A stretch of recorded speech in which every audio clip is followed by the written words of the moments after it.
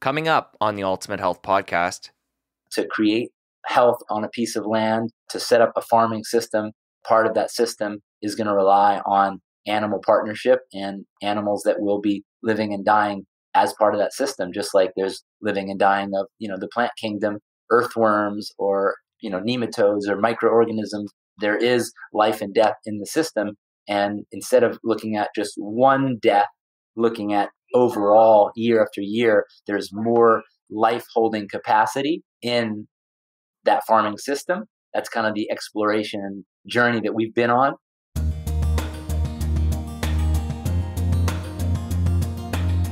Hello and welcome to the Ultimate Health Podcast, episode 372. I'm Jesse Chappus, and I'm here to take your health to the next level. Each week, I'll bring you inspiring and informative conversations about health and wellness, covering topics of nutrition, lifestyle, fitness, mindset, and so much more. And this week, I have Ryland Engelhart on the show. He's the co founder and executive director of Kiss the Ground. He's also the co creator of the award winning transformational documentary film, May I Be Frank. He's an entrepreneur, activist, and works to inspire more gratitude into our culture. He speaks on sacred commerce, tools for building community, and regeneration, and is the host of the Kiss the Grounds We Can Do This podcast. At the time of this interview release, Kiss the Ground just released a new documentary under that same title, Kiss the Ground, and it's on Netflix right now. It came out a week ago. I highly recommend going and watching it. It's a real eye opener. This is a full length documentary narrated by Woody Harrelson. It's shedding light on an alternative approach to farming called regenerative agriculture. And if you've been listening to a lot of the recent shows, this is a topic I've got into with a number of guests. And it's a topic I'm passionate about continuing to learn more about and spreading the good word because it's just such a powerful way to farm. It has the potential to balance our climate, replenish our vast water supplies, and feed the world. Ryland's such an interesting guy. I had a really great time connecting with him, and we just had a great conversation. I know you're going to love it. Some of the highlights include how soil is our common ground, the story of cafe gratitude, growing up a child of hippie parents, the Be Love tattoo movement, experimenting with the plant medicine ayahuasca, and of course, we get into regenerative agriculture and how this could be a solution for climate change. Lots of great stuff in this one. I'd really appreciate it if you could help spread the word and share this with somebody in your life, and I thank you ahead of time. And now here I go with Ryland Engelhart. Ryland, welcome to the podcast. Excited to chat with you today. Thank you so much. It's an honor to be here it's an exciting moment in my life. And so it's a fun time to share and broadcast what I'm up to. Yeah, big movie released tomorrow on Netflix. Congrats. Kiss the Ground. This is the brand that uh, you're a co-founder of, and the big movie is is finally here. This is going to come out a week after the release of the movie, so people can go to Netflix and check that out. But uh, I got to watch the film ahead of time and loved it. You guys have put together something amazing here, and people are really going to get a lot from it. Mm, yeah, thank you so much. It's uh, a gratifying and uh, beautiful moment to have a dream about a message and a story and a narrative becoming adopted at a, a broad global scale and to be at this moment you know having that film going to be up in 25 different languages and available to be seen in 186 million homes starting you know on the 22nd of september so really really, really excited. Thank you. Yeah, the possibility of people being awakened to that regeneration is possible and uh, really creating a new paradigm for how we can uh, relate and manage land and do agriculture in a way that actually can have a, a net benefit versus a destructive, degenerative effect on our planet. So, at a moment when there's a lot of divide, a lot of sides, a lot of opinions, and I just am um, excited to be bringing a message of unity and togetherness, and that soil is our common ground, and that here's uh, something that we can all rally behind and support. And that was the thing that kind of took me by such a surprise and impacted me seven years ago when I first learned about soil and regenerative agriculture. I really got that it was the thing that everyone who eats could participate in this revolution. I don't know if you know this, but I've been in the health food, health world space for 15 years. I pioneered with my family a restaurant called Cafe Gratitude, uh, Gracias Madre. I'm excited that we've been able to continue to reinvent ourselves and continue to push the envelope further in where plant-based food was 15 years ago when it was in the total margins and it's now become quite mainstream i'm excited for the the next chapter to be really understanding regenerative agriculture and again it's not about exactly what you're eating it's how what we're eating was produced grown and the effect that it had in its whole life cycle and that we can have food that has a life cycle a beneficial life cycle uh, which is so exciting and inspiring well, we're going to get more into the film and more into regenerative agriculture. But you mentioned quite a bit there. I want to get into the story of Cafe Gratitude, get into your story, and kind of build up to the film. Great. So let's go all the way back to Cafe Gratitude, the early days. I know this restaurant was actually started first back in 2004 in San Francisco. So take me back to the time in your life. What was happening when this began to come together? Yeah. So I think I was 23 years old. I was living in Los Angeles. Me and my sister had just kind of bankrupted a company, a, a recording studio company. She was depressed. We had to sell our house. We had to sell our all our recording equipment. It was kind of a, a meltdown moment, and I was really kind of yeah, given up. I was I was kind of really depressed and just lost in life and didn't know what was next for me and you know just really looking at like what if it wasn't about you know getting paid or if it wasn't about you know being important what did i love to do? And you know what i loved to do was create food for people and to inspire people around you know natural health. Food as medicine. Having people try new things that they like that were tasty but also were healthy that they could see themselves more identifying with especially if they were more used to standard American diet. And when, when I was running a recording studio, I was always we would have people in our in our recording studio who would be sick, and I'd always be giving them these little kind of echinacea and you know natural herbs, tuning people into you know food is medicine. Was back in 2002, and so you know one thing people always said you should open a restaurant. You're you know you really you love food, you love healthy food, you love inspiring people to eat better. And at that same time, my folks were exploring the idea of opening a restaurant in the Bay Area under the name Cafe Gratitude. And I had kind of tried to go away from my family business. I wanted to like kind of make it on my own and, you know, kind of the prodigal son story of like, I don't want help from my family. I want to go do it on my own. And then I realized what they were doing was something beautiful. And, you know, I, I wanted to get in the restaurant business. I wanted to, you know, create healthy meals for people. And so I humbly asked my dad uh, if I could join him in his journey of building Cafe Gratitude as a business. And I was living in Los Angeles at the time. And I asked him, can I come learn the business and come back to LA and open my own Cafe Gratitude a year later? And he said, of course, I'd love, you know, nothing more than, you know, having you join the family business. So I went back to San Francisco. We opened, uh, or I came back right after the first opening, the first Cafe Gratitude. It's like a 1,400 square foot little restaurant in the Mission in San Francisco. And for those that don't know, Cafe Gratitude is an all organic, plant based restaurant, really focused at the early days, like at like, you know, raw live food. We didn't have a stove, we didn't have a hood. We just had warm miso broth. The only cooked grain was quinoa, which pe- at the time people didn't know about quinoa. You know, we were some of the first people doing cold pressed juice before that was even in the lexicon of understanding we were making you know fresh pressed almond milk when there was no almond milk at the stores you know now it's ubiquitous it's at starbucks it's everywhere. Uh, there was no such thing as cold brew coffee on the mainstream now it's at 7-eleven so you know these were these are kind of these health food things that we were kind of pushing and getting behind in the early days. And then you know the whole other besides plant-based vegan raw food the whole business was really driving you know can we have a business that has an attitude and an ethos and a mission that is really not just like a mission on the wall, but is literally a way of being that's lived. That you walk into a, a restaurant where the attitude of the brand is literally living in the interaction with every guest and bringing each customer into that experience.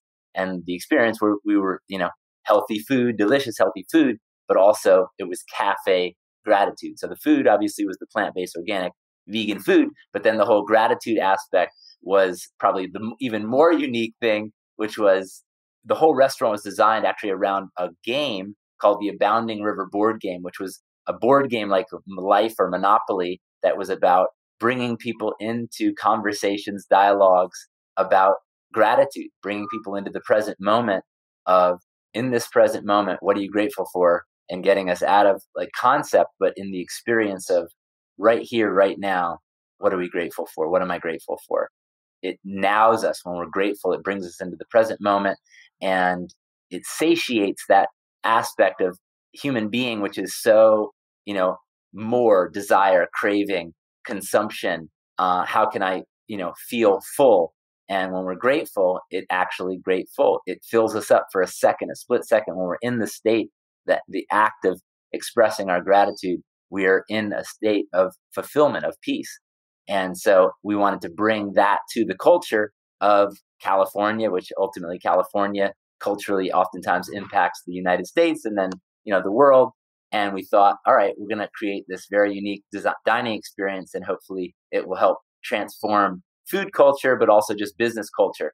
You know, my folks wrote a book called Sacred Commerce, which was a business philosophy of how to run a business where you're not only creating value for your customers and you know having uh, you know a sustainable impact or a positive impact within your supply chain but also bringing transformation to the world through uh, the philosophy and the culture of, of your business.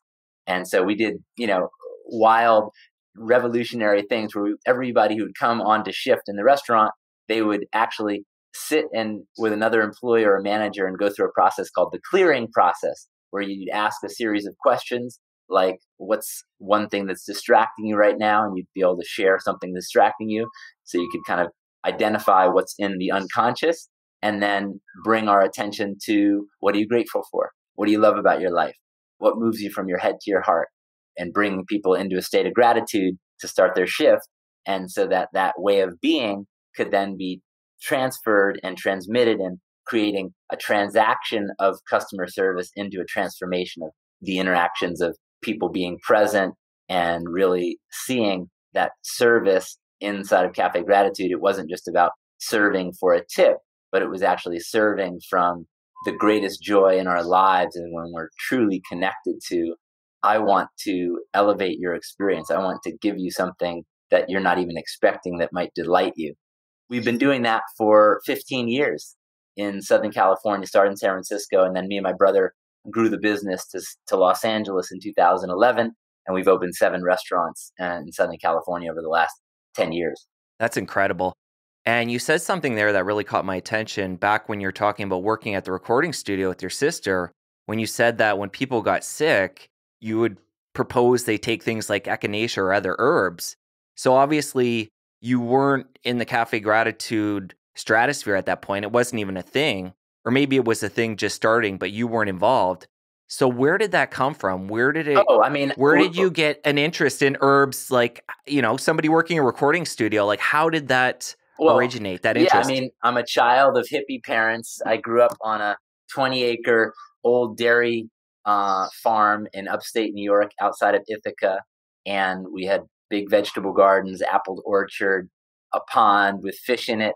I grew up playing in the woods and really just my my childhood was observing nature and you know kind of a lot of homeschooling then waldorf school uh, rudolf steiner who started biodynamic agriculture and also started waldorf education and my parents their philosophy was always that their spirituality was really that we were we were all one that we are all cells in one body and uh, you know how can we understand that we're we're a totality, we're a oneness, and how can we support the whole by our actions?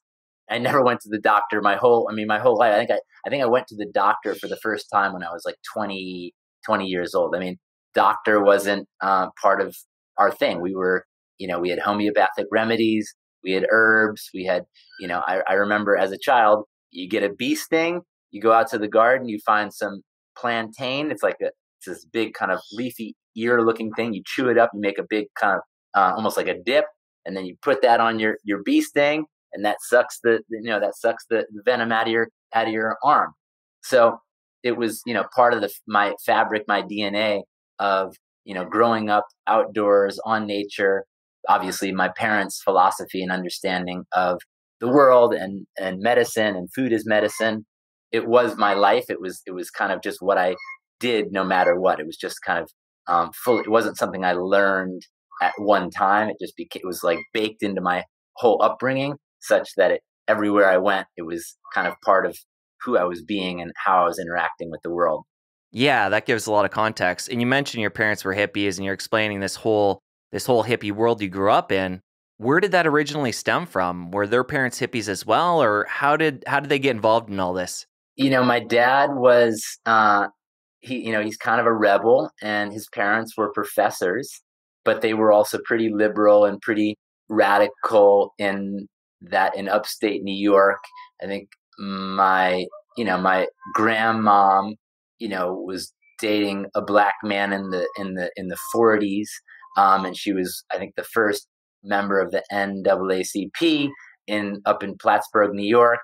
You know, I remember something my grandma she said, if we're not talking about sex, religion, or politics, what the heck are we talking about?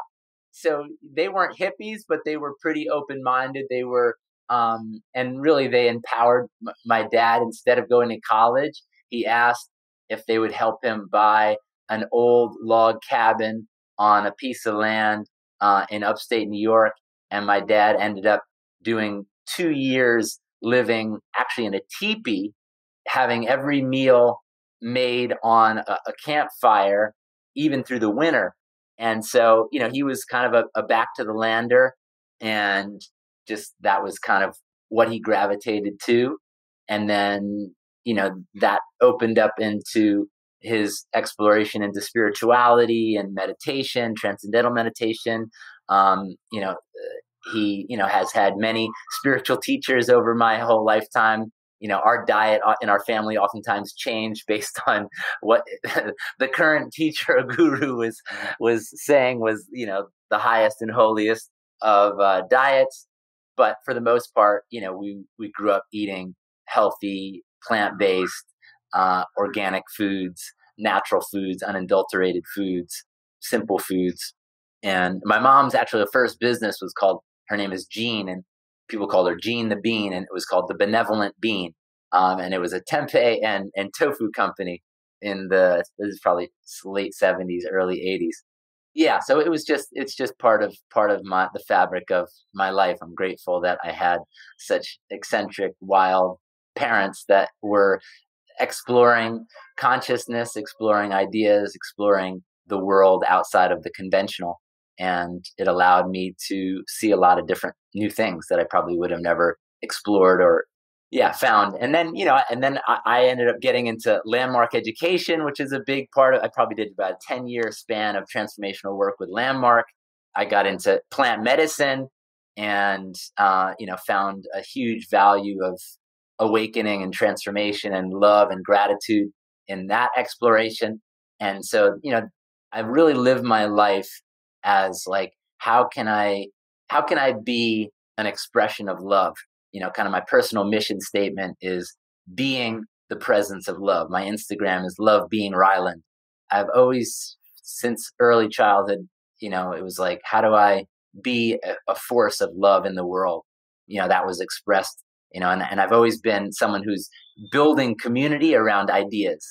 I've definitely been called a perfect candidate to be a cult leader, and I and you know I, have stayed away from that because I, I can see how tempting and also dangerous that can be.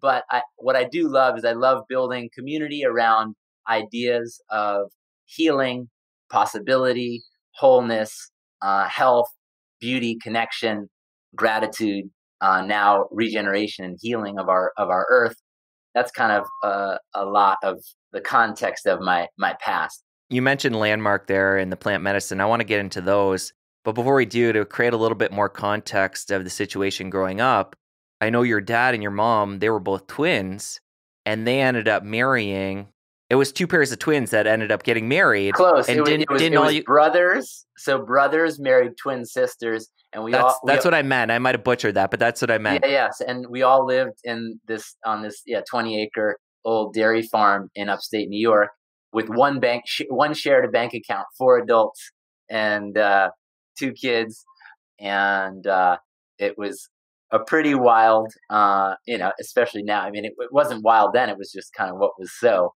But uh, when I tell the story, it definitely is surprising people. Another, you know, beautiful expression that kind of shares the, just the evolution of my parents and their capacity for love and forgiveness and healing is my parents got divorced when I was 20 and my dad remarried and my mom ended up she's a clothing designer she ended up designing the wedding dress for my stepmom to marry my dad and was present for the wedding and um, they're all friends and they spend time together and so it, i've had a really uh, you know I'm, I'm extremely blessed in the example that i've seen around uh, you know how human beings can transform the exact architecture of family and still create and still hold uh, the love and the uh, feeling of family and oneness, even though when things change and new people come in to the equation.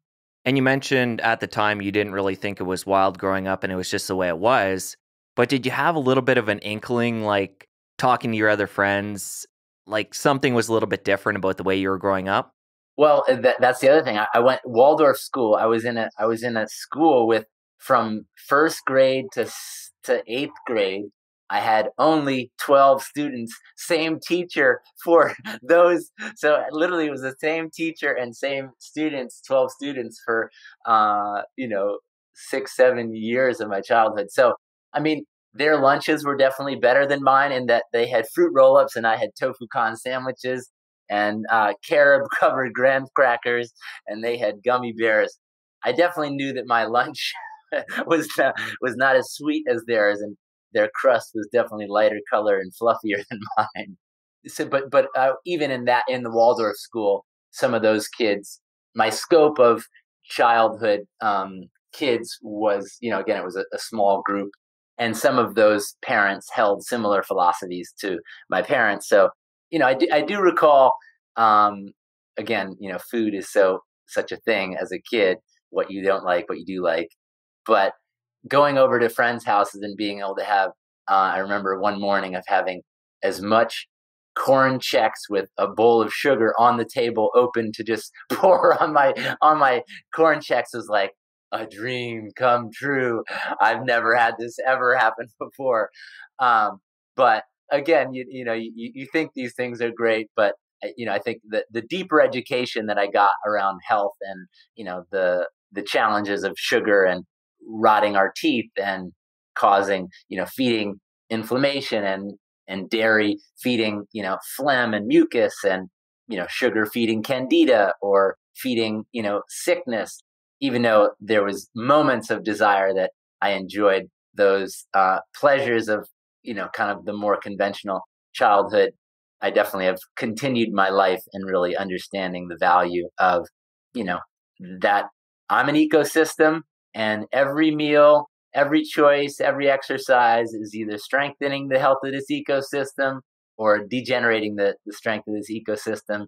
And I'm going to come in contact with a lot of challenging things, you know, whether pathogens, viruses, infections, diseases, you know those things are in us they're all around us and how can i you know create the healthiest and you know that that's another aspect which you know sounds kind of woo woo but i definitely grew up you know I, would feel a little prickle in my throat and i would spend time just really willing like i am healthy i am strong i am vital. Yes i am healthy i am strong i am vital. Ah! You know like I, I would i would get into these states of you know my mentality around being able to defend off and I'd feel something coming on and be able to you know beat it out before it kind of took took over and that's been my experience. Uh, again I got no scientific backing but that's been my experience for most of my life is being able to self-regulate my health through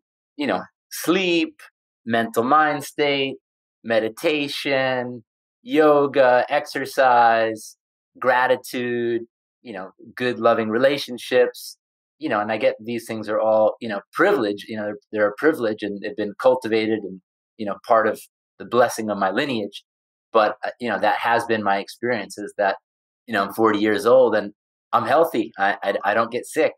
I'm resilient even when, you know, things, you know, there is a lot to be infected by. Yeah. So again, that's just kind of baked into my experience of life. And again, it's not just food, it's, it's mindset and practice and just overall understanding that my body, as I said in the beginning, my body's an ecosystem and how can I give it all the proper support so that it can do what it's supposed to do and uh, defend off the things that might try to um, create some imbalance. And other than binging on sugar and cereal at a friend's house, did you have a period of time through your teens or through your childhood where you would rebel against the ways of your parents? You know, my sister was the great rebel. So she really modeled the major rebel. So I then rebelled against her rebel, which then kind of had me fall back towards more my my parents' mentality. But I would say that my great rebel, because my parents were like okay with my sister smoking pot at the house, uh, you know, when she was younger. I mean, it's true story, and this is probably funny, but they knew she was going to go out and explore doing LSD, and they said instead of going out and doing it somewhere where we're not, you're not safe, and you know something's going to happen. We know you're going to do it, so we're just going to create an environment where you're going to do it uh, in the safety of. And again, I, as a parent, I'm not sure how I'll how I'll follow in their footsteps around that. How old was she at the time? I was probably 16 years old. Yeah, 16 or 17 years old so yeah, I, I rebelled against. I, I, I got into like uh, you know straight edge hardcore. I was into skateboarding. I had you know X's you know X's on my fists and was you know renunciated the kind of you know smoking pot thing, drinking thing, and so I, I definitely had a period where I was yeah rebelled against their kind of liberal nature to the exploration of substances and was totally like no alcohol, no weed. So that was probably from like 13 through probably 18 was like very and that, that was actually another unique aspect of my childhood was that I saw that I picked up on the pattern early on in life that people would rely on substance, alcohol mostly, or weed to have fun or to feel loose or to feel comfortable to talk or to, to interact, to dance. And so I, I had this early kind of challenge in my life of how can I be comfortable in my own skin um, without the dependence on some kind of substance. And so I would always put myself in kind of environments where I wasn't like wanted or I wasn't normal or what I was kind of a little bit of an outcast or I wasn't kind of the standard my way of being or my conversation that I was coming with. And I, I would try to like create bridges and be a bridge builder and not need whether it was going to like a, a fraternity that was like mostly black and Puerto Rican fraternity at Cornell campus. And could I go and, you know, show up on the dance floor and feel, you know, comfortable enough to like, I'm going to be here and I'm going to be in my body. I'm going to dance and I'm not going to depend on alcohol to find comfort and how do i kind of bridge the awkwardness of interacting whether it was like age gaps cultural in that or like you know a lot of my friends would be like never wanting to talk to the adults or the parents and i would always be like all right like i'm going to dive in with these adults and like try to become connected. So i was always trying to figure out and i think that also comes from i had learning disabilities going into school and i couldn't read or write that well but I had a lot of emotional intelligence and I was always using kind of my emotional intelligence to, you know, survive or to thrive or to, you know, to kind of connect and, you know, create relationships with people such that I could, you know, belong or fit in or be enough in the world. And there was, you know, a piece around the the drugs thing, which I noticed that people were u- depending on substances to make those those connections, whether it was just comfortable to open up to their emotions or you know talking about things that are real. And so i, I had a, a strong commitment to not having to depend on substances and kind of lean into finding my emotional and human connection without those things. Now i'm going to take a quick break from my chat with ryland to give a shout out to my show partner organifi. Right now the limited edition organifi gold pumpkin spice is available It's back for a limited time. It's an incredible nighttime tea made with delicious flavors of fall. This all organic pumpkin spice superfood tea delivers a warm rush of sweet, autumn inspired joy. You'll find no added sugar, syrup, whipped cream, or anything artificial here. This is the healthiest pumpkin spice treat you'll ever savor. It contains turmeric, ginger, reishi mushroom, lemon balm, turkey tail mushroom, magnesium, piperine from black pepper that helps with turmeric absorption, coconut milk, Ceylon cinnamon, nutmeg, clove, and allspice. It's organic, gluten free, vegan, soy free, and keto friendly, which are all labels I love to see on a product. And as a listener of the show, you get 20% off your Organifi purchase by going to ultimatehealthpodcast.com slash Organifi. Again, that URL is ultimatehealthpodcast.com slash Organifi. And Organifi is spelled O-R-G-A-N-I-F-I. Get stocked up with the Organifi Gold Pumpkin Spice today. It's only available for a limited time. Now I'm going to give a shout out to my other show partner, BLUblox. Blue Blocks makes the best blue light glasses, and they relatively recently came out with the Lumi light bulbs.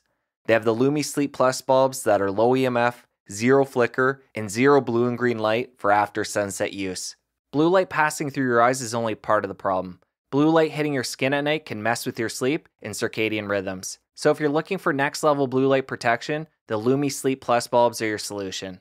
They also have the Lumi Summer Glow bulbs. These are low blue light bulbs for daytime use. They produce a warm yellow glow that mimics the summer's day, instantly elevating your mood. And as a listener of the show, you get 15% off your BLUblox purchase by going to ultimatehealthpodcast.com slash BLUblox. Again, that's ultimatehealthpodcast.com slash BLUblox. And BLUblox is spelled B-L-U-B-L-O-X. On top of that, BLUblox also offers free shipping worldwide for orders over $100. The Lumi light bulbs are the perfect solution to our modern day lighting problems. Get yours today. And now back to my chat with Ryland. And what came first, Landmark or the plant medicine? Right around the same time for the first the first interaction, I did Landmark the summer after I graduated high school, so 18 years old. Did it in the New York in New York City in the in the World Trade Towers before they fell, and I took a Greyhound bus up to New York City by myself at 18, which is kind of a big deal. And again, my parents pretty trusting, like, oh, he's going to get on a Greyhound bus and go to New York City and uh, just get off at Port Authority, figure out how to get to a second cousin's house who I was going to stay with, you know, while I was going to the landmark course. But yeah, that was that was quite profound in really getting at a deep level how much at an ontological deep level how much human beings are similar and that we're all afraid of each other. We're all trying to look good and make it and we're pretending that we have it all together and we don't and really that adults don't have it all together and really getting like wow it's really just all made up isn't it and there's all these kind of like oh they they wear that kind of suit jacket. They must know all these things. And oh that person drives that car. Oh that person came from that place. Oh they're talking they must know each other. Like we're meaning making machines. We we make up so many things, but oftentimes what we make up is constraints that limit our possibility, limit our view of you know what we can do or what is possible for ourselves based on our past experiences.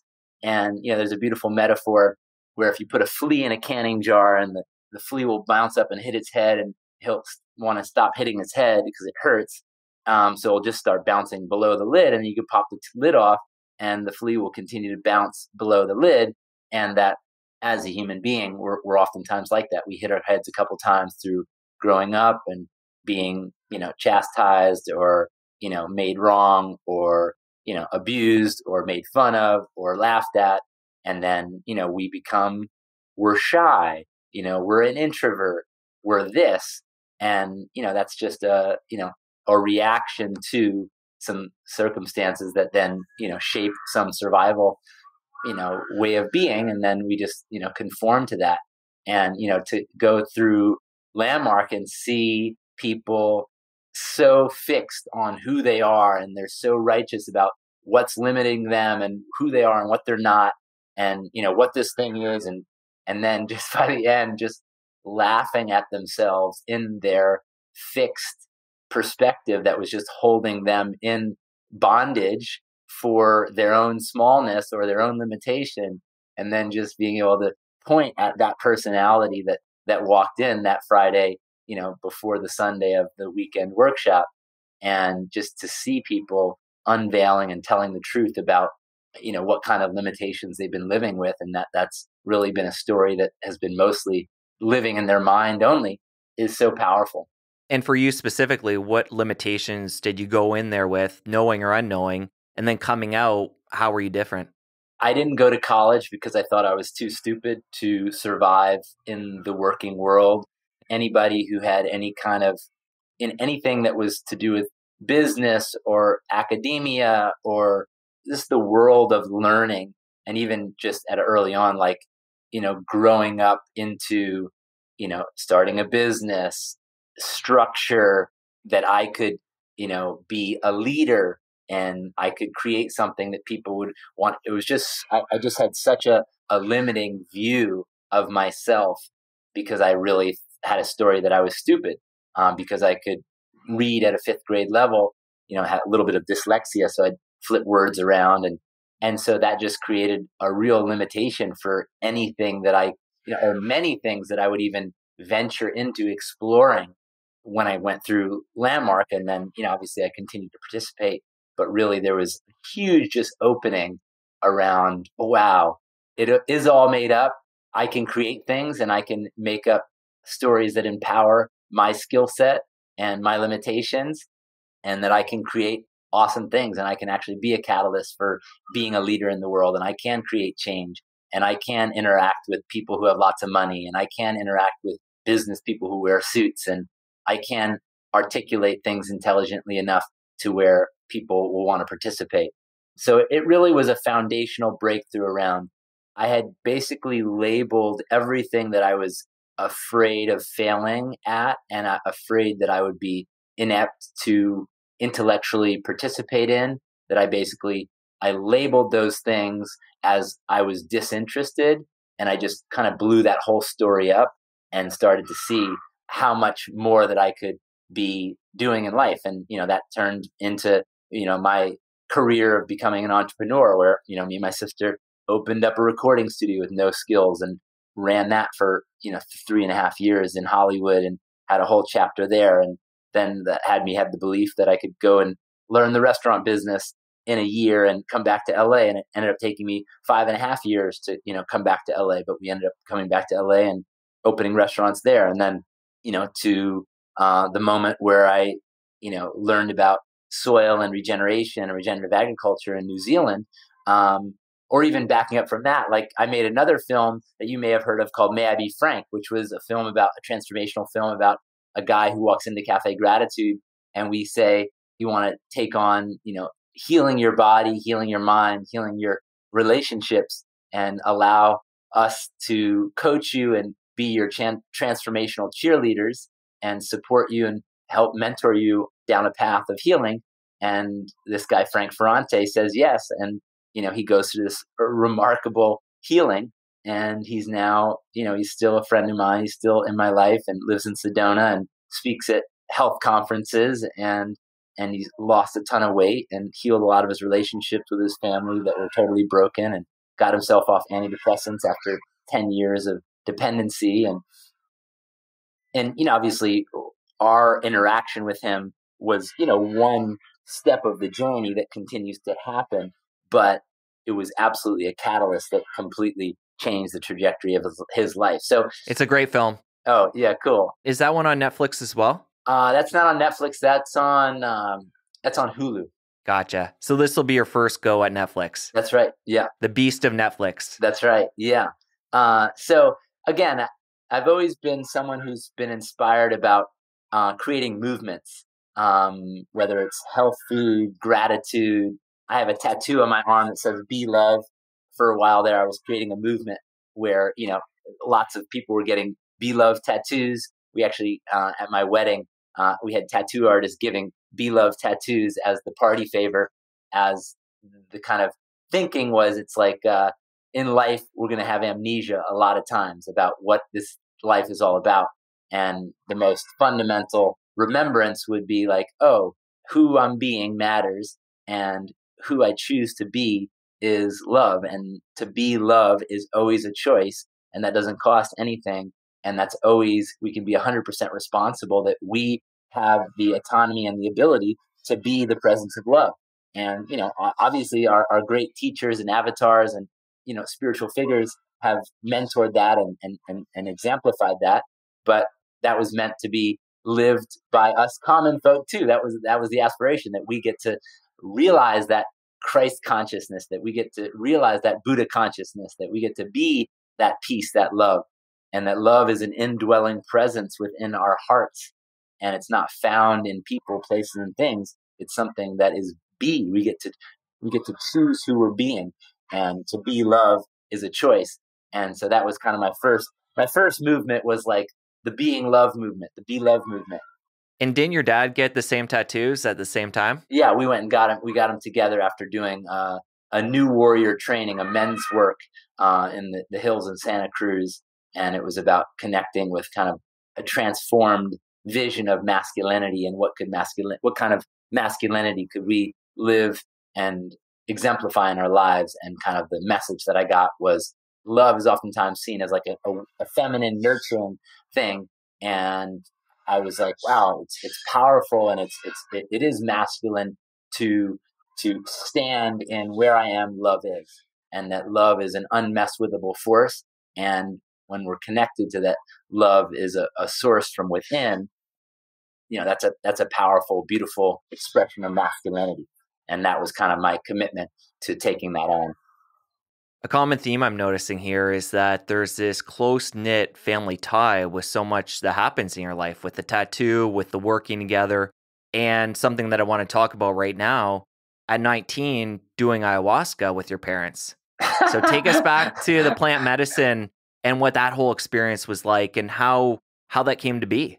Yeah, so at the time I was living in San Francisco. I was working as a kind of maintenance guy at a, a company called redladder.com, a tech company in the early dot com era of San Francisco.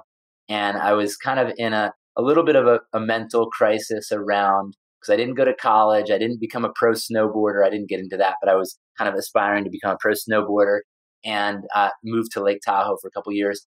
And I didn't see that that being the future of my life. And you know, I was kind of thinking like, oh, should I get into computer technology. It seems like that's what all young people are doing. I was, you know, at this at this moment, and my parents were like, "Hey, we'd love to take you to this kind of meditation experience where we're going to go in the redwoods and we're going to drink this tea, and the tea has kind of a psychoactive effect, and it brings you into a deep deep state of um, communion with nature, with life, with with God, and it's a, a beautiful way to remember you know who you are and you know what's important to you and they had done it once one time before this and uh, they wanted uh, me to experience it with them. They were going to do it with uh, a group called it's a it's a, a group that actually took the plant medicine all the way to the supreme court to get it as a legal sacrament as part of a religious ceremony.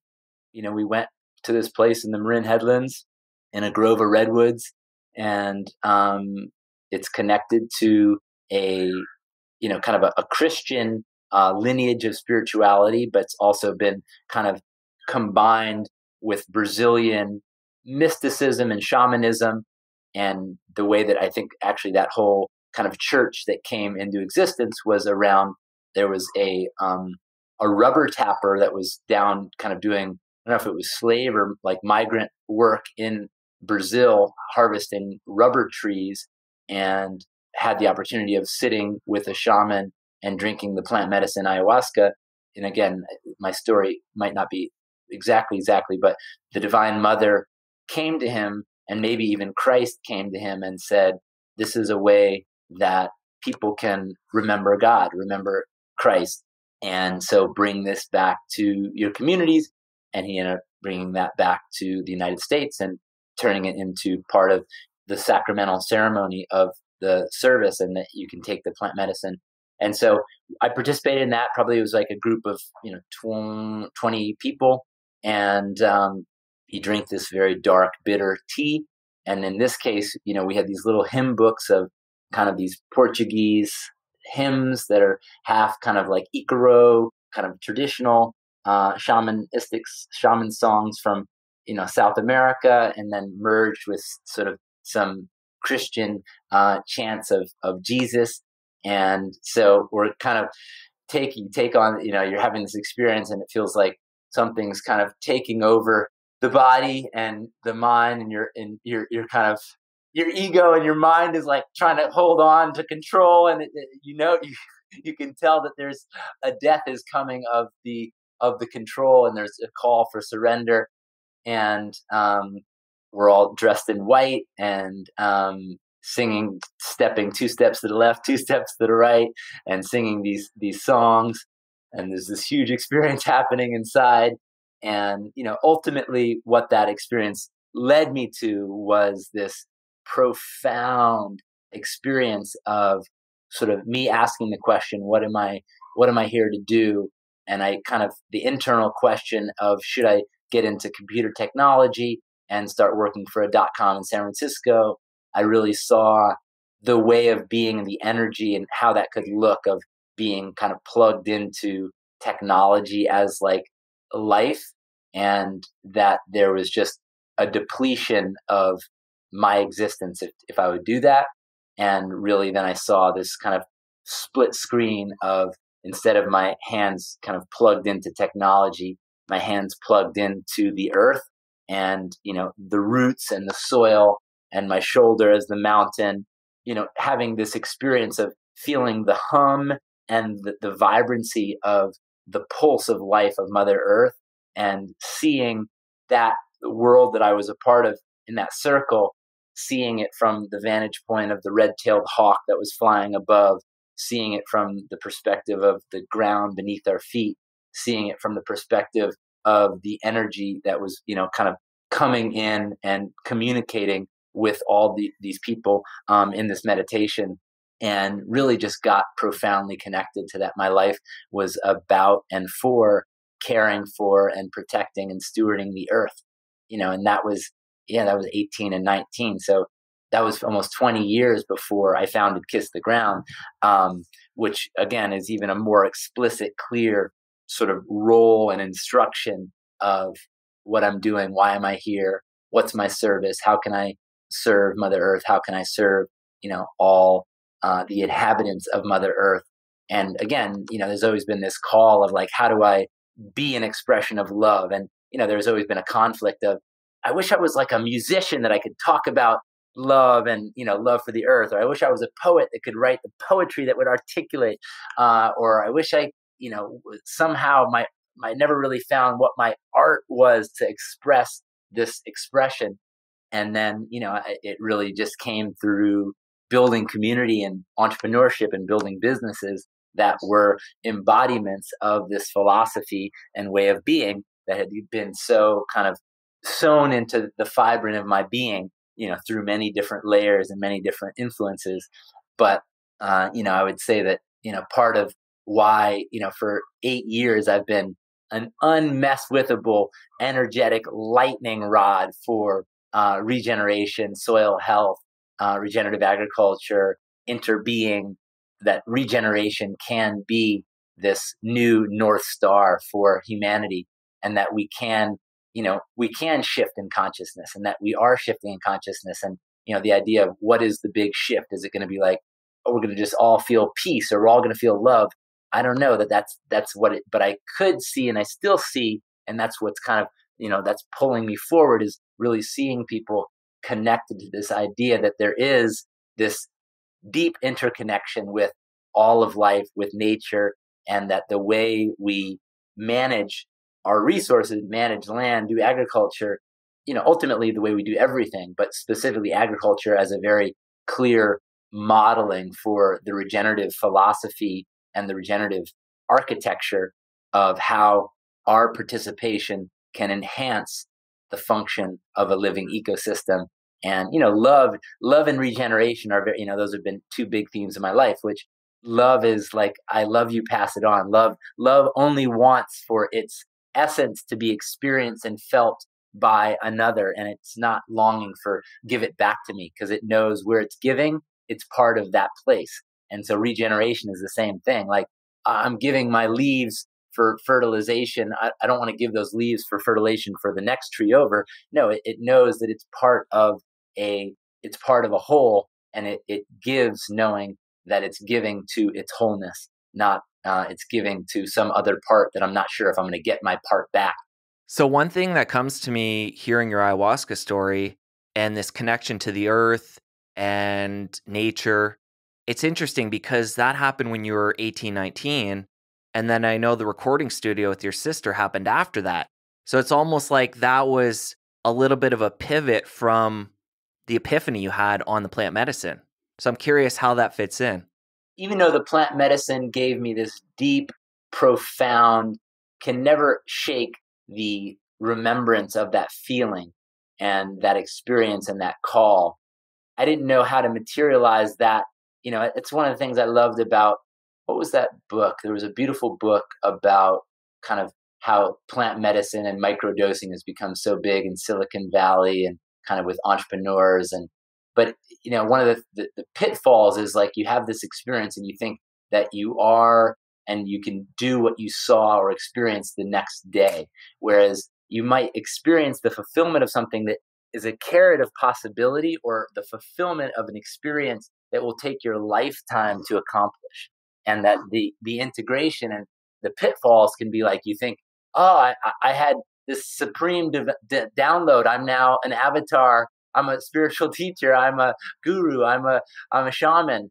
You know, and you may experience the fulfillment of something that may take you know years of chop wood carry water to integrate and actually realize the, going back to the recording studio really that was from my sister you know my sister had a, a, a crisis. Um, she was going to be you know that's another whole story. She was going to be tried for manslaughter because she was part of a drug deal a marijuana drug deal gone bad and people ended up getting shot.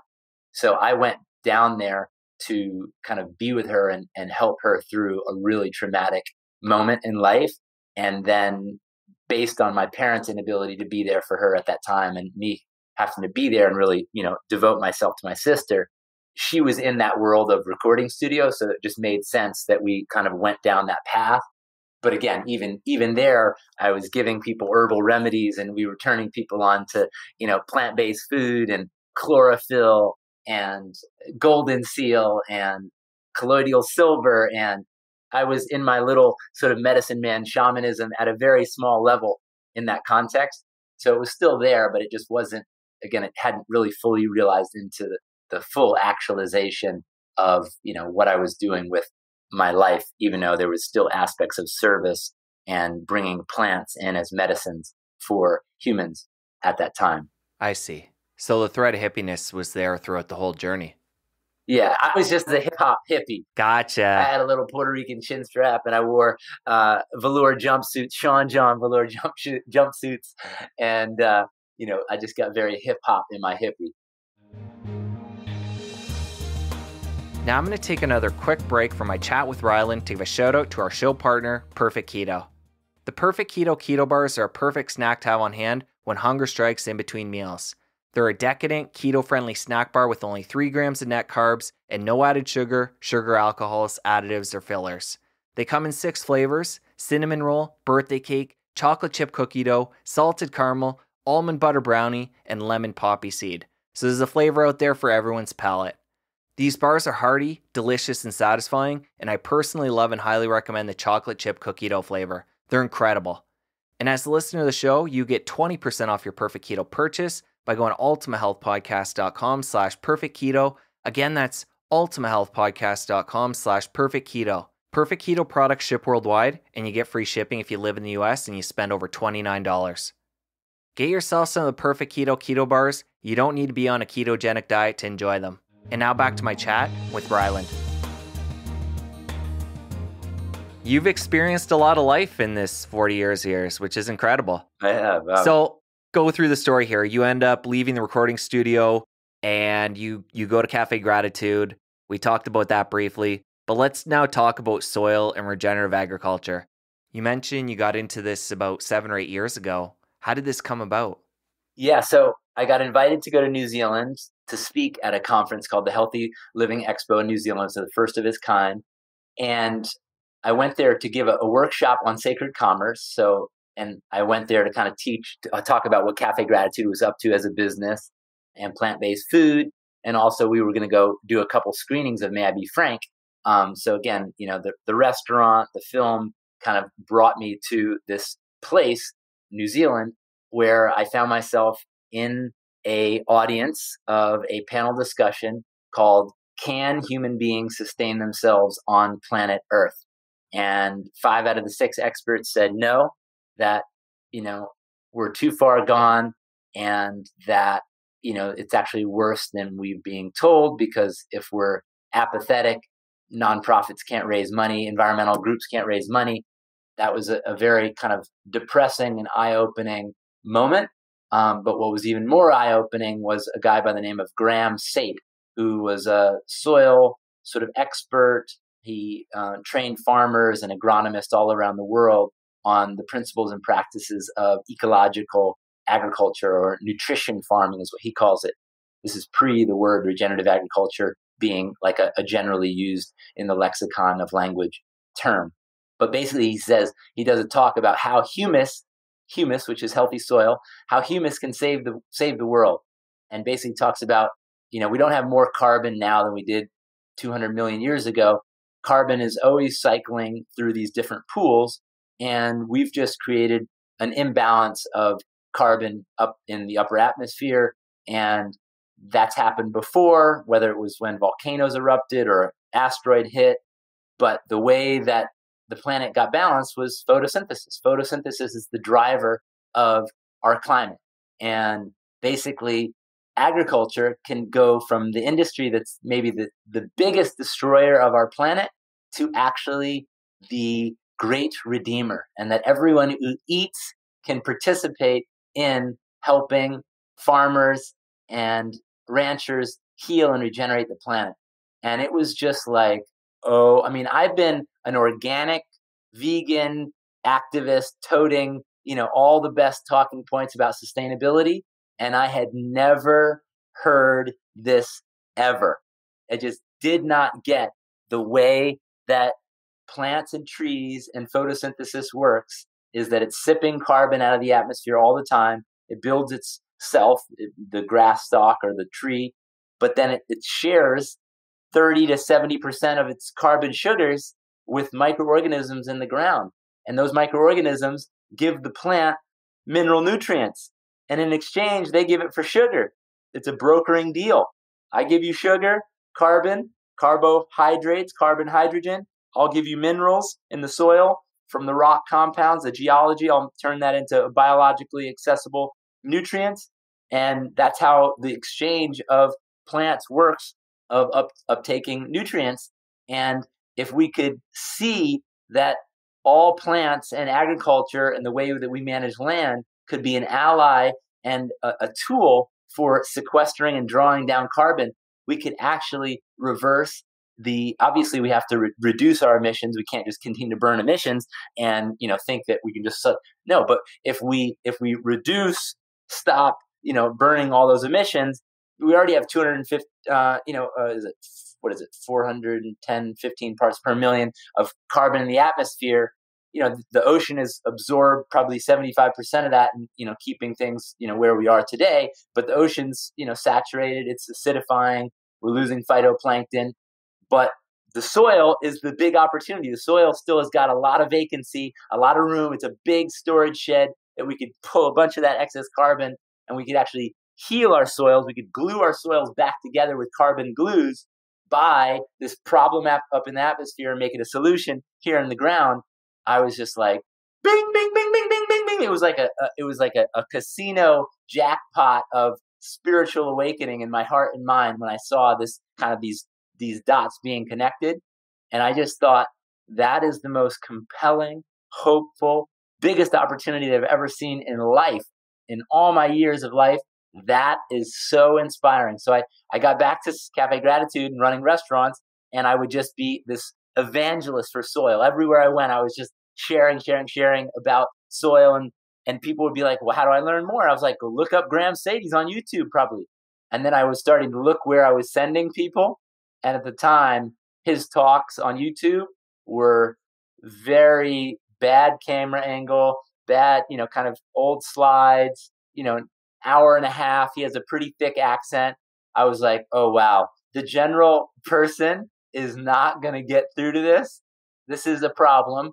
You know, be the change we wish to see in the world. I just saw it was like it was like that. It was that opening of space. I saw. All right, step in. You you live in Los Angeles. You live in the storytelling capital of the world. You've already seen how you can tell a story with Cafe Gratitude and you know change perception and you can bring something out of the main the margins into the mainstream. So we just started literally gathering people in my living room every Monday for a year, just volunteers. How are we going to change the paradigm of thinking and get people to understand this opportunity? Because, you know, at the time, it wasn't really on Bill McKibben's, you know, radar. It wasn't really on Al Gore's radar.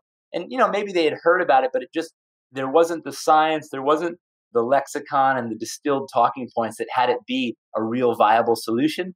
So even like you know, Leonardo DiCaprio, like the experts of the, the climate change world hadn't grokked this at a, at a scale.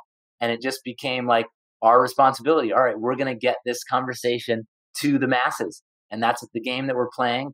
And, you know, we've been kind of unstoppable in doing that. And, you know, again, fast forward to the film, it's so beautifully intertwined and the miracles of synchronicity. But I came back from New Zealand and I'm living uh, in Venice, and I'm looking for a place to move into because I was just staying with a friend, and there a friend of mine has a, a, a little two bedroom bungalow where his friends are moving out, and they're environmental filmmakers, and they move out. They move to Ojai. On their way out, I'm like, "Do you guys know about soil? Uh, you guys should make a film about regenerative agriculture and uh, how it could be a solution to climate change." And they were like, "Yeah, yeah, no, we make films about oil and oil is hard enough to make films that people care about. Soil, that's even a more boring topic. Their names are Josh and Rebecca Tickell. And they ended up calling me six months later and were like, hey, we actually had somebody else proposition us, you know, around making a film about soil. And we're a little intrigued. And we see that you guys are building this nonprofit around this whole narrative and education and advocacy around the topic of regenerative agriculture and its solution. We'd like to partner with you. And so we ended up partnering almost seven years ago to start making this film uh, called Kiss the Ground. That here we are uh, at the the moment where it launches out. So it really is like the mission of our organization is people being awakened to the possibilities of regeneration. And you know everything is you know our north star is always driving us. How how can we have the greatest impact of people being awakened to this possibility? And uh, you know this film and the ambassadorship around this film and all the you know people behind this film uh, i really feel like we are going to get a collective mind shift that we are going to go from kind of the early adopters into like a broader scale of adoption that this is a viable real solution that we all need to be starting to work and aim towards because it really is something that gives so much hope and possibility and unification at a moment when there's a lot of divide you guys definitely did an amazing job with the film and you made dirt interesting and I know it's going to really impact so many people and be part of this this powerful change. But one thing we need to talk about before I let you go is this whole regenerative agriculture story that you just told. Everything fits together so nicely and all the work you're doing is so incredible. But part of regenerative agriculture is including animals in the farming process. Yes. Cafe Gratitude is a plant based, yes, yes, a plant based grazing animals. So in Cafe Gratitude, obviously a plant based organic restaurant. You talked about being a vegan advocate. Talk about the response at Cafe Gratitude and in your own personal life when you started talking about, you know, incorporating animals into the whole farming scheme. That was a big disruption and a big um, kind of and, and again, we, we we didn't know it was coming. You know, it started pretty benevolent. We were vegan vegans, and I've been vegetarian for mm, most of my whole life. Uh, we bought a bought a farm in Vacaville, and we started. Um, specifically, my father mainly was growing vegetables for uh, our restaurants in San Francisco, for our vegan raw restaurants in San Francisco. And as we started to dig into biodynamics, you know, how to create a regenerative effect on a piece of land uh, so that nature continues to thrive under an agricultural system because we definitely we create some fairy tales around farming and agriculture it's this like very natural thing. No nat- agriculture is actually you know for the most part what it's turned into is a very unnatural thing. It's you know it's us taking natural land and turning a biodiversity of crops into one crop and basically stopping anything from eating what's hap- you know on that land because we want to eat what's on that land. And so it becomes about protecting from nature and separating what we want from the rest of nature so that we can kind of control it manipulate it. And you know it really is like agriculture has a lot become almost like turning nature into a mechanism or a machine and that's really what monoculture agriculture you know mimics and so when we started to think about how can we grow food sustainably, organically, biodynamically, um, you know, we started interviewing and working with farmers and, you know, becoming mentored by different people who've been working on soil health. And we started to see how, you know, nature has an architecture of life and death. And in that life and death, there is no waste, but there is a continuum of a system that maintains balance, that maintains you know a continual sort of um, ecosystem level health, and it's always self-regulating for this balance. But there's a, a proliferation of you know continuous health that is happening in that system that requires no inputs from some other place. And so as we started to see how we could create a farming sim that farming system that mimics nature, we started to really understand the way grassland was created was through hooved herbivores grazing and um, rotating over land, and that that was what had created the great soils of the world that was being mined for current day agriculture. So to create a continuation, a regenerative, a sustainable, a regenerative agriculture, it became very clear that animals were were absolute essential partners or um, components part of that architecture to have a continuum of a healthy system. You know as we started to learn you know we had cows on the system because we were bringing in you know cow manure by the you know the gobloads from some local dairy but then you know like that dairy you know the values and ethics of that dairy those animals were being poorly treated. You know, there's chemical inputs. You know, there was a, lot of confinement, and yet we're needing a byproduct from that system to make our system work. That didn't seem right or healthy or you know sustainable or or, or ethical. We started to see, okay, well, how if we had animals on the land, how could they fit into the? Because again, a farm is a business. A farm is it's an economic business model that allows for an individual to live you know, from the land, you know, producing crops that are able to sustain, you know, that farming ecosystem economically.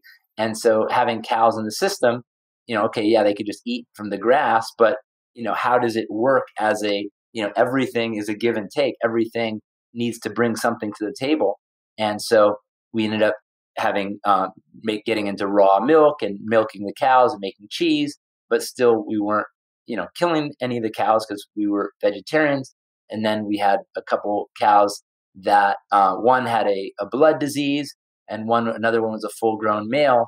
And you know, my dad made the choice to, um, you know, he wanted to look this process, you know, right in the face and you know, with his own awareness, go through the process of that life and death cycle. You know, he brought that cow into this world, you know, stewarded its life and had a great life and then was going to steward its process of you know transition you know we went through that process you know as a you know just humbly all right we're going to we're going to take ourselves through this process and it was a very confronting and uh, you know brought tears to our eyes and was hard but to understand the threads of all the sacrifice, the life and death that leads to you know what we consume on a daily basis. We we oftentimes don't have to look at that, and so we were just going through the process of how can we be the most responsible stewards of the land and see this process all the way through.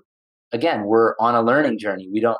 This is what we know so far. You know what we knew to that point to this point is that you know to create health on a, on a piece of land you know to set up a, a farming system you know part of that system is going to rely on animal partnership and you know animals that will be living and dying as part of that system just like there's living and dying of you know the plant kingdom or you know earthworms or you know nematodes or microorganisms or you know that that there is life and death in the system. And instead of looking at just one death looking at can we have a, a system where yes there's life and death but there's actually overall year after year there's more life holding capacity in that farming system. That's kind of the exploration and journey that we've been on. Yeah so that's that's kind of where it started. And so we've you know one of my favorite things is david bronner says who's a proud vegan and also a supporter of regenerative agriculture is that vegans have an amazing amazing discipline you know they're disciplined about what they eat and what they don't eat and that's amazing and admirable. And you know people who are working in the space of regenerative agriculture are looking at how we can produce food while regenerating ecosystems and they really understand ecosystem function. So we've got stuff to learn from you know people who pioneering farmers and ranchers who are working on the regeneration of you know life and land and soil and you know and stewarding animals in a way uh, where they have a good dignified life throughout their life. And you know there's there's lots of things that we as vegans or people who are you know committed to animal welfare and people who are committed to healing our planet and doing regenerative agriculture in a way to produce food and also uh, heal our our broken landscapes there's a lot of virtue in both sides and we need to come together and agree on what we can agree upon and allow for you know that we're going to have different opinions across the board but can we agree that we're both wanting to make the world a better place and wanting to make life for animals better as well? One thing you guys definitely had to deal with at the time was some blowback from the vegan community. Talk about what went on there and how you moved through it. It really was um, it, it was definitely a, a pretty confronting moment. We had you know we had a lot of you know protesters and people calling my family murderers and it was a pretty intense moment. Even my, my parents got a couple death threats on their uh, to their phone, and so that was uh, pretty intense. Um, you know, coming from the compassionate community, and I get it. I get that we we had a role of kind of like you know mom and dad figures, uh, parental figures, leaders in the plant based movement, and you know it's never fun to have your your investment in people who are doing something that you know aligns with your ideology and your your vision and then those people make a pivot it can be shocking and can be confronting you can feel like a betrayal. I get it. I understand the disappointment but i think where i always want to lean people towards is like you know we're on our journey. You know we're we're human beings having a, a journey in this life learning about you know different aspects of how to be better, how to how to eat, how to live, how to be kind, compassionate, uh, beneficial humans. And you know, this is a learning process, and you know, we're just telling the truth about our process and going through our process. And in another 20 years, I may have a different philosophy or a different view. This is where we are today. This is what we've learned. This makes sense from a a deep understanding of you know even studying and understanding you know indigenous cultures and their view around animals as you know part of their diet but also part of their life that like yeah we can actually be reverent and so grateful for the life of an animal because it actually sustains our life. And it is the the sustenance that gives us life. And that is again just in the way that we're grateful for vegetables for sustaining our life there is a an ability to have reverence for you know that which we consume that will die but ultimately doesn't die because it, it, the energy of it becomes our life and there's so much to be grateful for in that and can we do that you know can we have that attitude of reverence and appreciation you know i love wendell berry said Every day we break the body and spill the blood of creation. If we do it knowingly, carefully, and reverently, it is a sacrament. If we do it with greed, gluttony, and clumsiness, it is a desecration. And again, not to say that I'm always awake and, and reverent for everything that you know is living and dying, such that my I can have a, a you know a life and an existence. But you know that's the practice: is can we can we be in gratitude for all that is living and dying, such that we can have life for the time being that we have life, and can we support systems that are thinking and caring for you know that whole system and wanting that system to actually get better and actually be a system that'll be healthy in two generations, three generations forward. And that's a that's a beautiful thing. And we need to align around those things that we can align around and allow for our differing opinions to be okay that we're going to have different opinions. And you mentioned there you're a vegetarian. Your diet's still primarily plant based, right? Yeah, my my diet. You know, I had a first hamburger at 35 years old of the cow that we had that we had killed as part of uh, that process of I'm going to experience that process fully and you know take in and appreciate that that life that we had taken. But again i, I don't have a, a, big craving and desire for uh, meat. I still feel really good and healthy on a mostly plant-based diet. And if i if i know some really high quality you know meat has been harvested by someone who really has cared for it and offers it to me i'll take part and appreciate it and enjoy it. Ryland i know you got to go. I'm, i want to respect that but i want to give major props to kiss the ground phenomenal documentary. So exciting that we're on the cusp of it being released to the world. By the time this comes out, like we talked about before, it's already going to be on Netflix for a week. So, other than people checking that out, how can they connect with you after the show? Yeah, so please check us out at Kiss the Ground, uh, our Instagram, kisstheground.com. We have an amazing, amazing tool called Find Your Path, and it's designed for anyone, anywhere to put in your interests and where you are and it basically gives you kicks you out a feedback loop of actions that you can take to support the regenerative movement. Really jump down the rabbit hole of uh, how you can be a supporter and part of the regenerative revolution. Uh, so that's the first thing is find your path.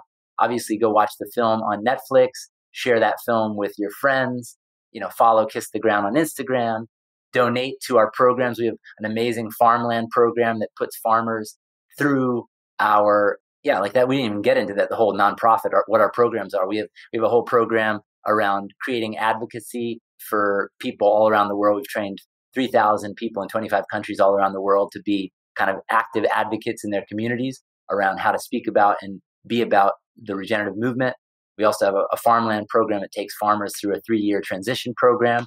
Um, so we have about just under 100 farmers wanting to come into that program. So we need funds to uh, allow those farmers to take that transition.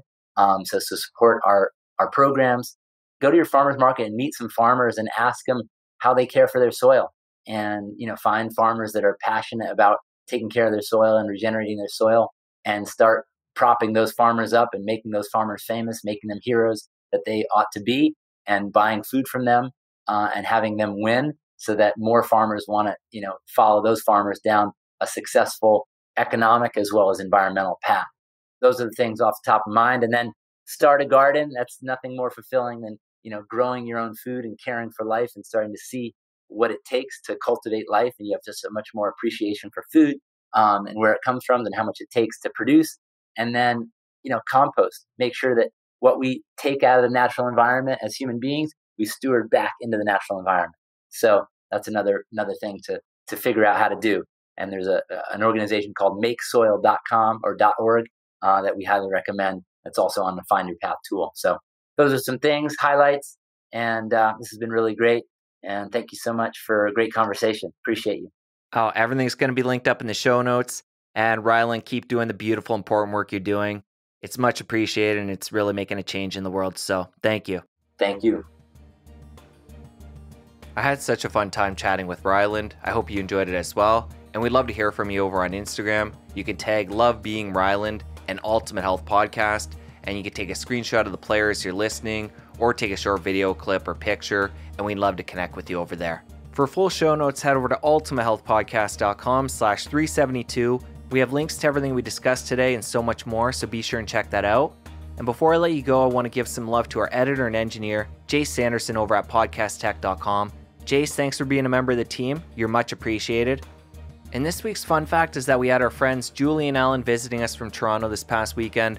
They came in their RV Roxy, and it's just so great to see friends and connect, and we had the best time. Have an awesome week. I'll talk to you soon. Wishing you ultimate health.